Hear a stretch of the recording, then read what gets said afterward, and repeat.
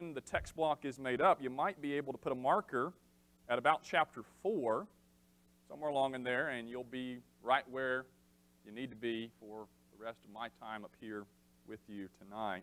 We're going to be mostly in Romans, the end of Romans 4 and the beginning of Romans 5, but we're going to start in Romans chapter 3 as we contemplate the idea tonight of being justified by faith from Romans 4 5. But tonight, not so much that it alone. Tonight is more, you could have, I didn't put it, but you could put this like a subtitle, and it could be a question. It could be justified by faith, and then the question, now what? Or what now? What, what comes after that? What does it look like in practice, in the real world, beyond just on the pages of Scripture, and, not that that's not important, I mean, we're reading from them and studying them tonight, beyond theological expressions and statements and discussions, what does it mean to be justified by faith? What is the results of being justified before God, to God, by God, according to our faith?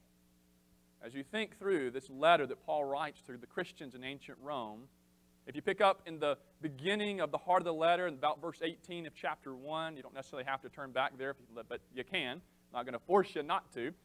But he starts there talking about humanity, but more how humanity has gone wrong. The way of the nations, as I put it on the handout tonight, the idolatry, the sin, the depth of rejection of humanity against their God. And that's most of chapter 1, or the big second half of chapter 1. Then chapter 2 of Romans. We're having our own road through the, the Roman road here tonight, really quick.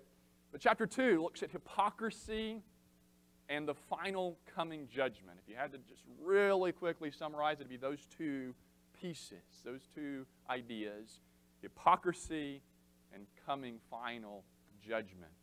But at the end of chapter 2, that carries over into chapter 3, Paul looks a little closer at the Israelites, the Jewish nation, and how they fit into this whole picture, this whole story of God and the nations, God and humanity, and how Israel was on a mission by, by God, but they failed that mission quite terribly, quite miserably.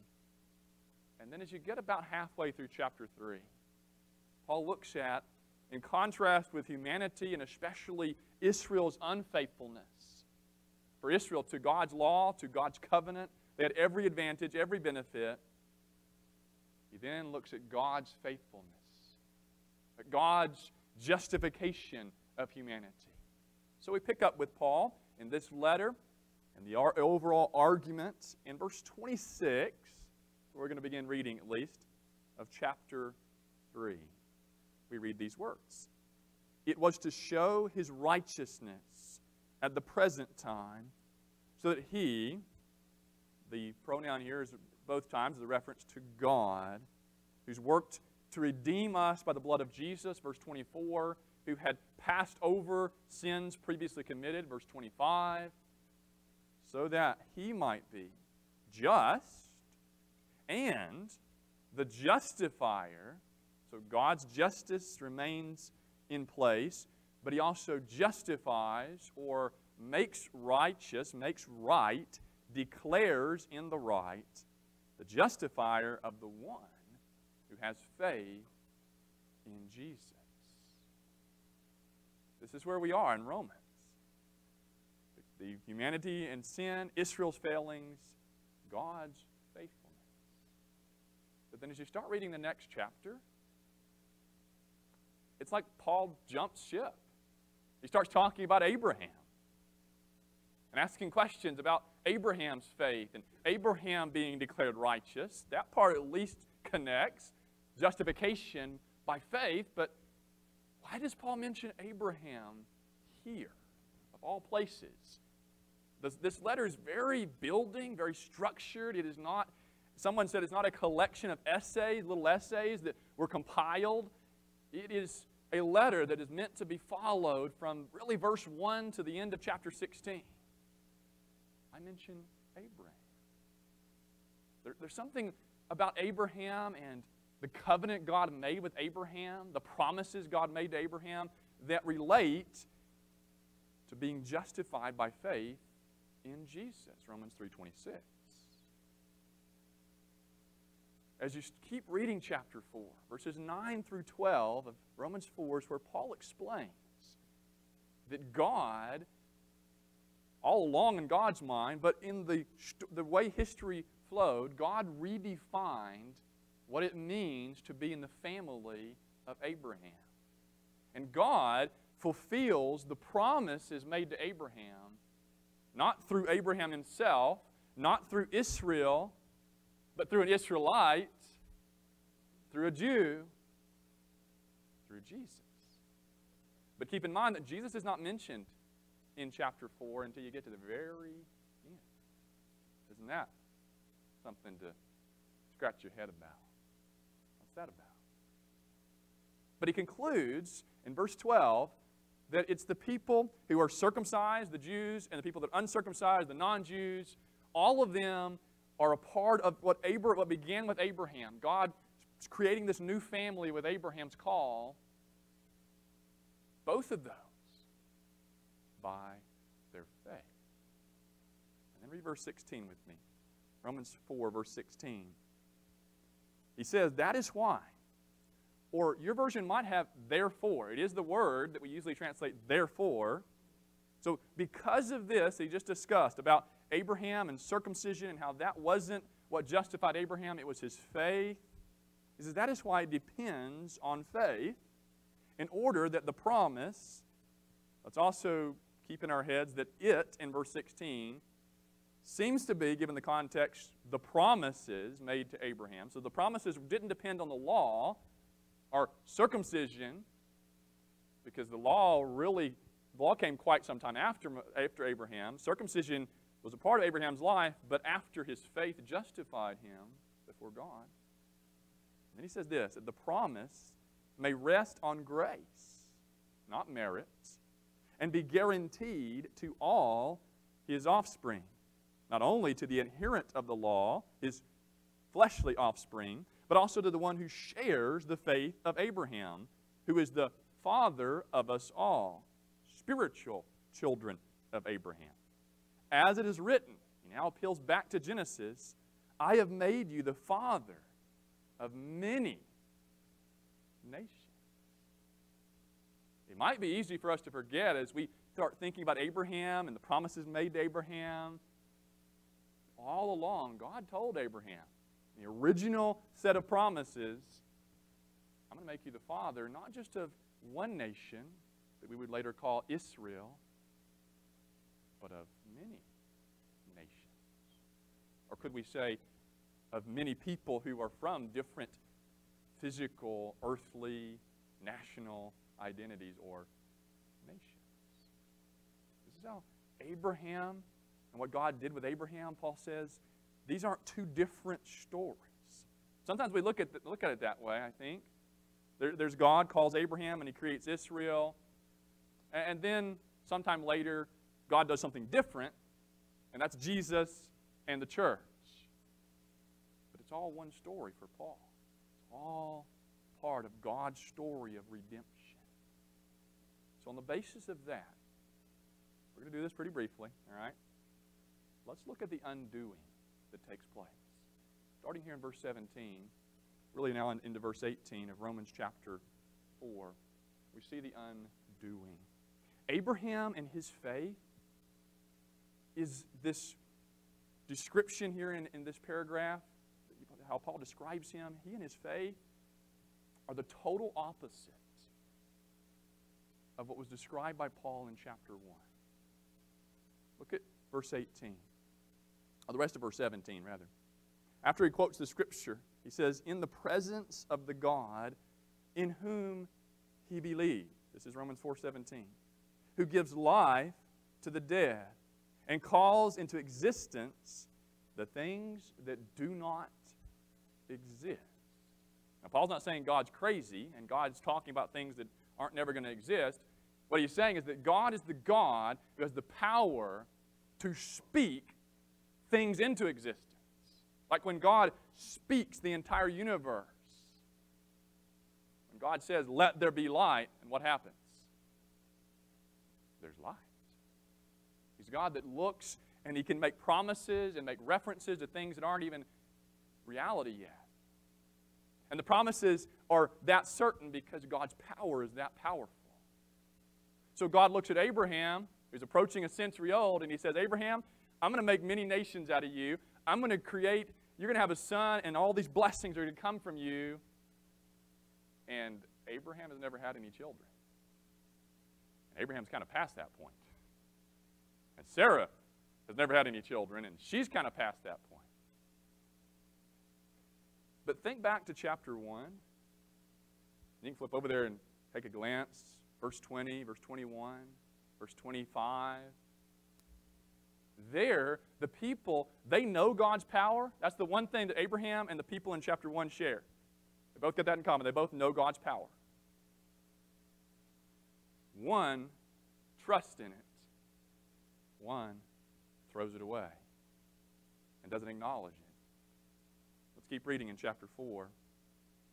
It says in verse 18 that in hope he believed against hope.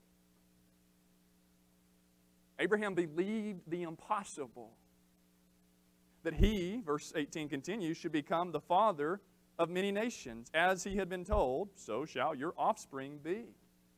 Verse 19 now. He did not weaken in faith when he considered his own body, which was as good as dead, since he was about 100 years old, Paul adds parenthetically.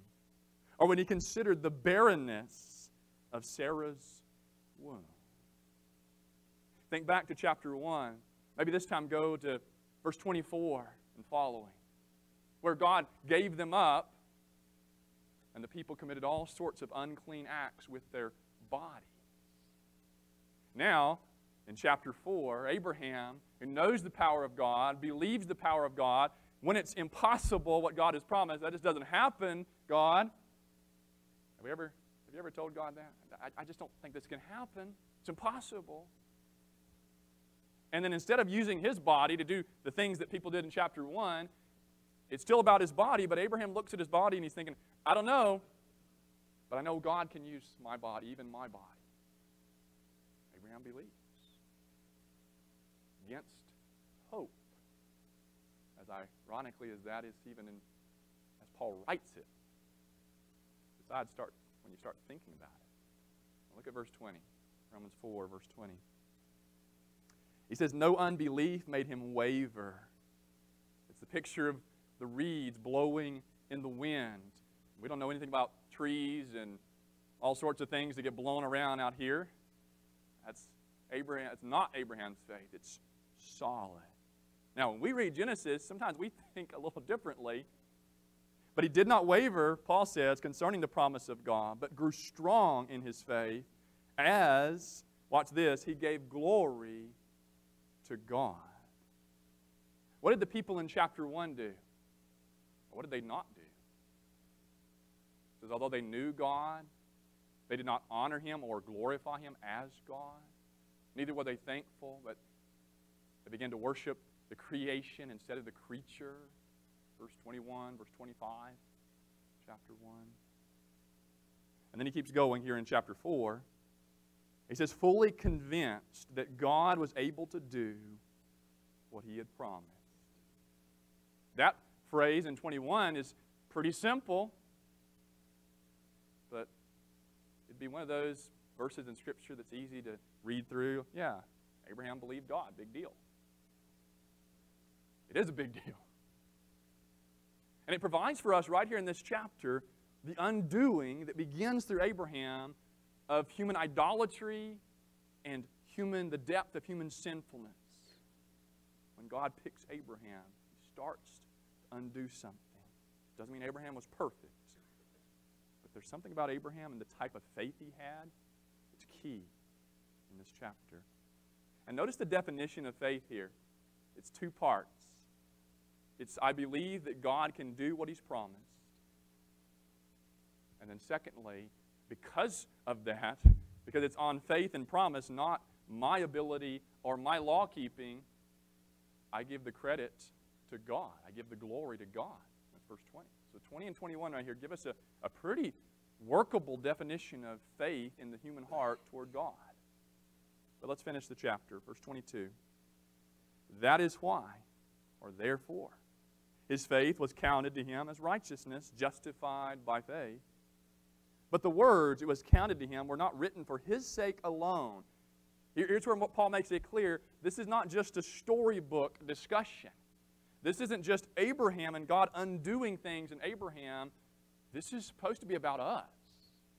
For the Roman Christians in the first century, for the, what do we call our, I don't know, I guess the Oklahoma Christians in the 21st century, the Elpsidians, or however we, I don't know what we're called.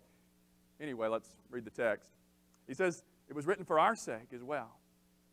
Verse 24 says, It will be counted to us who believe in him who raised from the dead Jesus, our Lord. First time Jesus is mentioned by pronoun or name in 23 verses. Paul comes back and summarizes. Really, these two verses are a summary of everything Paul writes in the first four chapters of Romans, but also sets up for what's about to happen and Paul's uh, going to unleash in chapter 5. Let's read them. Those who believe in the one who raised Jesus from the dead, our Lord, verse 25, who, Jesus that is, was delivered up for our trespasses, the cross, which is where it's accomplished, the power to forgive trespasses in a covenant family with God, and, last part of the chapter, raised, resurrection, for our justification. And in my mind, being forgiven of trespasses and being justified, those are about the same idea. I don't know that Paul is saying the resurrection justifies or washes away our sins or makes us right before God. It's more that the resurrection says what happened at the cross is true. If Jesus had not been raised, well, it might say something about the cross. Maybe it's not true. Mark this down tonight. There's the undoing of idolatry and sin, but there's also the undoing of deadness. Abraham's faith and our faith, the faith that justifies tonight in Romans, is a faith that is centered, it is focused in on a God who can speak things into existence, a God who can speak and dead becomes alive. Think back through what we just read in Romans 4. Abraham's body, Paul says it, was as good as dead. I'm not saying that for old Abraham, but that's what Paul says. He's, he was so old, he was as good as dead. Sarah's womb, the ESV translates it as barrenness, but it literally means deadness. That her womb was dead. You don't have children when your womb is dead. Jesus was dead. Dead people don't walk and talk and eat, they stay dead. But he did. So the resurrection of Jesus declares some things to us.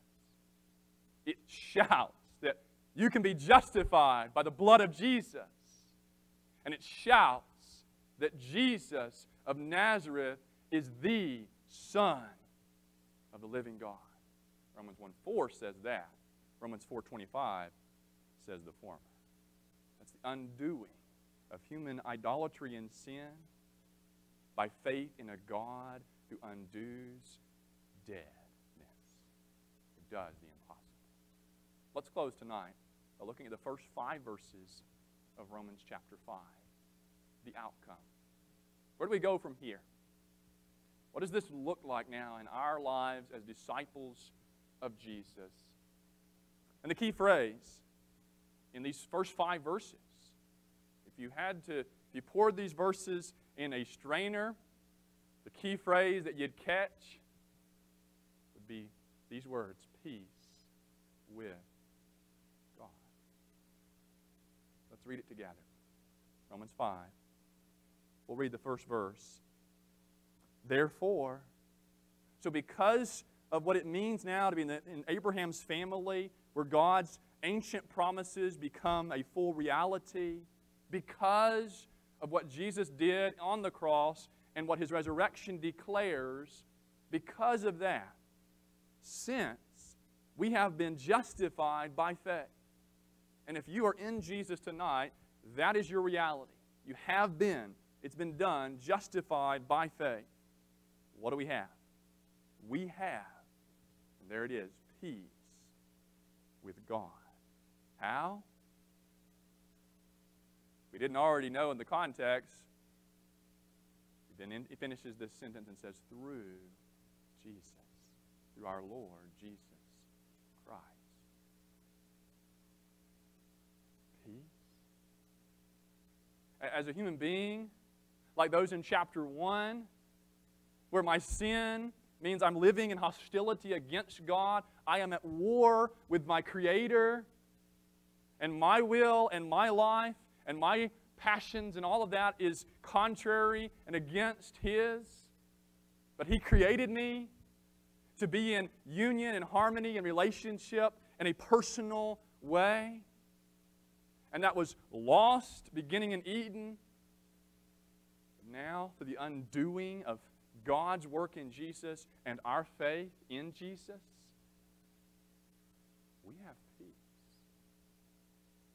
Because I'm justified, I'm right before God in Jesus. That's why I can lay down my head on my pillow I'm at peace with God. I'm not no longer fighting with God. I'm no longer expecting God's judgment and wrath, whether I'm open to that or not. It's not happening. Peace with God. We spend a lot of our lives seeking peace and seeking hope. And those two, right here in Romans 5. Let's keep reading. There's more to it. There's peace with God what it means. But there's more. Verse 2. He says, Through him, that is through Jesus, we have also obtained access. I had to add words to the list of key words, there's a key phrase, peace with God. That word access would be one. How? By faith. Into this grace, another big word, in which we stand. And not only that, he says, and we rejoice in the hope of what? Of the glory of God. So there's peace with God, that's where it starts. But then it's meant to also mean access. It's language that describes coming into God's presence. And even though sometimes it may not look like it, it may not feel like it, if I've been justified by faith in Jesus tonight, I have it, whether I take advantage of it or not, that's another question, but I have, I've been introduced into the presence of the King. It's could be it's temple language for Paul's Jewish audience, it's palace language for the pagan audience. It's like this morning when Bathsheba comes into the presence of Solomon. You just don't do that. But it's like Jesus has taken us and he's brought us into the temple of God. Oh. Isn't, aren't there some other passages where we are called the temple of God? But then it's also hope. We, we use the word hope a lot, don't we? We talk about, I hope I get that job. Kids at school, I, I hope they don't pick on me for what I'm wearing today. I hope our marriage gets better. I hope, I hope, I hope. Fairly often, that hope doesn't happen. So, on that note, let's keep reading. We've got hope of the glory of God, the glory that was lost by our sin, Romans 3.23. All of sin and fallen short of the glory of God. Is now there's hope that that can be regained. Let's finish these five verses together. As he then says, We rejoice in our sufferings. Verse 3. Not only that, And if you hadn't read the verse to verse 3 or had any idea what Paul, if you're reading this for the first time, it might just be me, but the way that it's written, it sounds like Paul's about to say something really great again. I mean, I have peace with God, I have access to the throne room of God and His grace bestowed upon me from His throne. I have hope. And you're like, what is Paul going to say? Not only that, but I mean, can it get any better? But what does verse 3 say? I mean, I already said it, it's on the screen. He says, not only that, we rejoice. Oh, yeah, that sounds great. Joy. So we got peace, grace, joy, hope. It's the it's more than a trio. It's this coupling and and then Paul had to go and write this. In our suffering. And let's not forget here that this is the Apostle Paul writing by inspiration, but this is the guy that was beaten and stoned and shipwrecked. And historically, there's a reason that Acts ends in Acts 28 with Paul in Rome. He goes back to Rome.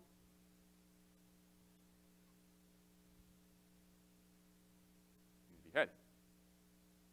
Because I don't, it, it is not that Paul's saying we're still going to have some human weaknesses and sicknesses and troubles. That's true. Sufferings here in context, it's suffering because you're in Jesus. But Paul says we're we're rejoicing in the in the sufferings. Not necessarily that I'm excited that somebody's going to put me in prison, but I'm excited somebody's going to put me in prison because of what that means. Elsewhere, it's I'm excited because I'm counted worthy to suffer for his name. The apostles rejoiced in Acts 4 because of that. Here, it's because of what it does to me. So keep reading rejoice in our sufferings, knowing, here's why, we know that suffering, and there's this chain link in these verses. They're all linked by chains. He says, knowing that suffering produces endurance. I think I should have some more. All right. Suffering produces endurance. So there's suffering that's about pressure. You ever heard somebody talk about diamonds aren't made without pressure? Well, the word for suffering here is about pressure. The pressure of beatings, the pressure of losing your job because you stand up for what's right, the pressure turns into endurance. And endurance means to be able to stand under heavy weights. I was watching this afternoon, in fact, the video of a man who was picking up 45, 55 pound kegs, and he picks them up and throws them up in the air behind him, and it goes up and over this high bar, I guess you'd call it. It's pretty impressive. Ever watched any strongman competitions? All the weight they can lift, deadlift and bench and all of that. Paul says when suffering, when pain falls upon our shoulders, produces endurance, produces strength to keep on when you don't want to keep on keeping on. But then he says endurance, look at this, it produces character.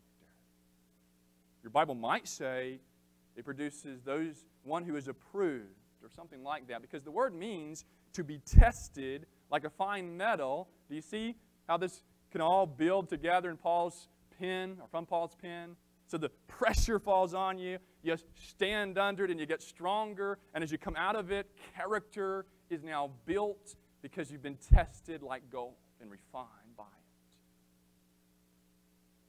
And we want everything now in our world, don't we? And no wonder that we might have a lack of character. Because these verses are, you can read them in a second or two, but they take time. Paul says your life as a Christian is going to take time to develop character that's solid. And then character produces hope. There's hope at the outset in verse 2 and that's true. When you come up out of the waters of baptism, you've got hope. But it's also true from another side of, the, of this table that Paul's laying out.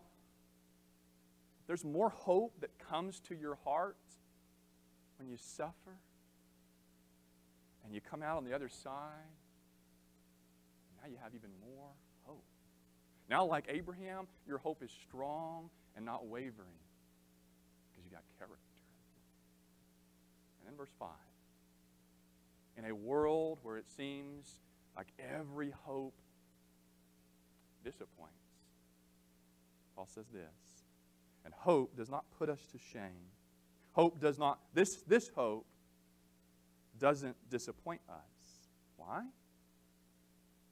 And this one's another head scratcher. Because the reason that our hope is fulfilled is because God's love has been poured out into our hearts through the Holy Spirit who has been given to us.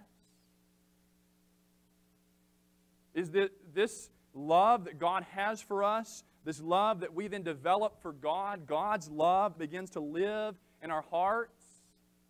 Because God loves me and I love God. And this is more, in some ways, more emotional than logical in a letter like Romans. That's kind of rare. Paul said it's because of God's love that we're not going to have any reason to be ashamed of our hope. Even when we're hoping against hope, even when society looks at us and laughs at us and makes fun of us because we're hoping in God to raise our dead bodies, and we're hoping in a God that we believe raised Jesus from the dead, and society says what? That's impossible. They probably told Abraham, it's impossible for you and Sarah to have a child. Our hope is locked in because God loves us and we love God. That's the outcome, being justified by faith. But the difficult part is that it's not necessarily going to be easy. We're justified, peace, grace. But then we're quickly reminded that the life of a child of God, a child of Abraham, a disciple of the King, not going to be trouble free. If anything, you may end up having more trouble because, in this life, because of that. But what did we sing just a few minutes ago? I promise it's just been a few minutes. We sing about the faith of our fathers, and there were words like dungeon and sword. And then there's this line, and I always, I, almost, I almost shake my head, but then I almost don't sing it. I, I'm just a mixture when I sing that song. Because it says, Oh, how sweet their children's fate. To do what? What's the last line of that verse? We just sang it. You sang it. I sang it. To die that doesn't mean that we've got some kind of weird suicidal thing going on at all. Okay? Doesn't mean we're just itching to all become martyrs. Shouldn't mean that, doesn't? But it does mean that being justified by faith, part of that is having a faith that says, come what may, dungeon, sword, death, I'm good. Because I have a hope doesn't disappoint me, that will not disappoint me. You go back, you start remembering what happened in the Garden of Eden. What was lost in the Garden of Eden? Access to the presence of God. He says innocence. That's not in my notes tonight, so but that, that's true. Access to God walking with them, God's presence. Peace with God, no more. Hope, gone. People who were created and crowned with glory, the glory of God's creation, Psalm 8. That glory's gone it's replaced with sin and corruption and rebellion. But what was lost in Eden, in Romans 5 1 through 5 tonight, and in our lives as those who've been justified by faith, is being restored. It's not fully there yet, but it's being restored in Jesus. What did we just read? Peace with God, access into His presence, into His grace, hope of the glory of God. Because, read those words again and feel them. Because of God's love. Let's think about that one as we stand and sing together.